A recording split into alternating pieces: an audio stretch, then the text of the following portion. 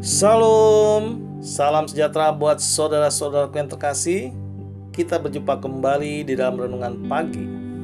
Saudara-saudara sekalian, marilah kita mendengar firman Tuhan. Sebelum mendengar firman Tuhan, marilah kita bersama-sama berdoa terlebih dahulu. Bapa kami yang di surga, Bapa yang kami kenal di dalam nama Tuhan Yesus, kami mengucapkan terima kasih atas berkat dan kasih yang Tuhan di pagi hari ini. Tuhan yang baik kami mau mendengar firman-Mu di pagi hari ini. Bukakan hati pikiran kami agar kami mengerti isi firman Tuhan dan melakukannya. Terimalah doa dan sembah kami ini di dalam nama Tuhan Yesus Kristus. Amin. Saudara-saudaraku yang terkasih, renungan pagi hari ini diambil dari kitab Injil Markus pasal 10 ayat 45 dengan tema Ia datang untuk melayani. Markus pasal 10 ayat 45 sebab beginilah firman Tuhan. Karena anak manusia juga datang bukan untuk dilayani melainkan untuk melayani dan untuk memberikan nyawanya menjadi tebusan bagi banyak orang demikianlah pembacaan firman Tuhan Saudaraku yang terkasih di dalam nama Tuhan Yesus Kristus Nats pagi hari ini tentang anak manusia yang datang bukan untuk dilayani, melainkan untuk melayani dan memberikan nyawanya untuk menjadi tebusan banyak orang. Pada saat itu Yesus mengajarkan kepada murid-muridnya sesuatu hal yang baru, yang tidak biasa, yang sangat bertentangan dengan pemahaman selama ini yaitu ajaran Yesus. Yesus berkata kepada muridnya, yaitu, Barang siapa ingin menjadi besar di antara kamu, hendaklah ia menjadi pelayanmu. Dan barang siapa ingin menjadi terkemuka di antara kamu, hendaklah ia menjadi hamba untuk semuanya. Hal itu diberikan Yesus sebagai teladan bagi semuanya, khususnya murid-muridnya.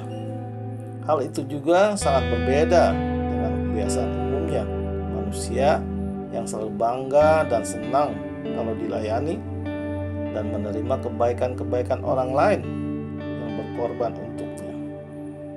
Dan pada saat itu juga terjadi pada murid-murid Tuhan Yesus khususnya dua murid muridnya yaitu Yohanes dan Yakobus yang merasa mereka mempunyai hubungan khusus dengan Yesus dan dekat dengan Yesus. Mereka berkata, perkenankanlah kami duduk di dalam kemuliaanmu kelak. Yang seorang di sebelah kanan dan yang seorang di sebelah kiri. Jadi serasa dua murid itu menjadi atau membuat haknya dan kedudukannya untuk mereka khususnya. Saudaraku, tertulis di Markus pasal 10 ayat 35 sampai dengan ayat 45 tentang untuk melayani bukan untuk dilayani.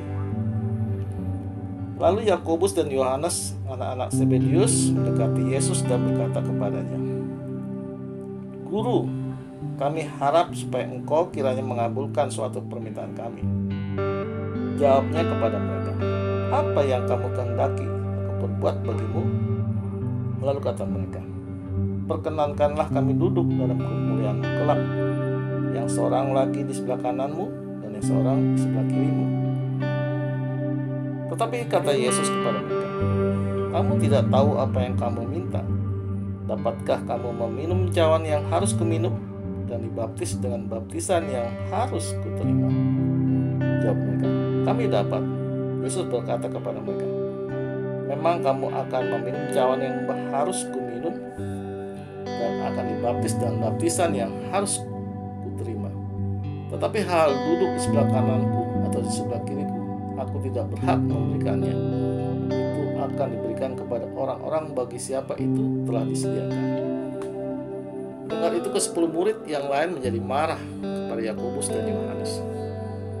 Tapi Yesus memanggil mereka lalu berkata, Kamu tahu bahwa mereka yang disebut pemerintah bangsa-bangsa memerintah rakyatnya dengan tangan besi dan pembesar-pembesarnya menjalankan kuasanya dengan keras atas mereka. Tidaklah demikian di antara kamu. siapa ingin menjadi besar di antara kamu, hendaklah ia menjadi pelayan. Dan barang siapa ingin menjadi yang terkemuka di antara kamu, hendaklah ia menjadi hamba untuk semuanya. Karena anak manusia juga datang bukan untuk dilayani, memberikan nyawanya menjadi tebusan bagi banyak orang. Demikianlah pembacaannya. Saudaraku di pagi hari ini sebagai murid Kristus marilah kita meniru teladan yang diberikannya tetaplah rendah hati dan bersedia untuk melayani dan bukan untuk dilayani dan berikan yang terbaik bagi kemuliaannya. Amin. Tuhan Yesus memberkati. Kita tutup renungan pagi hari ini dengan berdoa. Terima kasih Tuhan atas firman-Mu di pagi hari ini. Ajari kami ya Tuhan agar kami selalu setia dan selalu percaya kepadamu dalam menjalani kehidupan dan aktivitas kami sepanjang hari ini. Dengarlah doa dan sembah kami ini di dalam nama Tuhan Yesus Kristus. Amin. Saudara-saudara yang terkasih, marilah kita selalu mengucapkan syukur di dalam hidup ini dan kita percaya renungan pagi hari ini menjadi sumber berkat dan sumber kasih untuk kita. Shalom.